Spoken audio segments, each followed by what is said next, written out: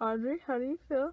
Um, I'm very excited. I'm nervous for what the doctor's gonna say. Hopefully he's like, okay, the cast will come off. But if he doesn't, I'm going to cry. Okay, let's go before before shot. So here's my legs. Okay.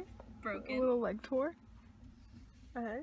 So we'll see you at the hospital when we get lost. See ya.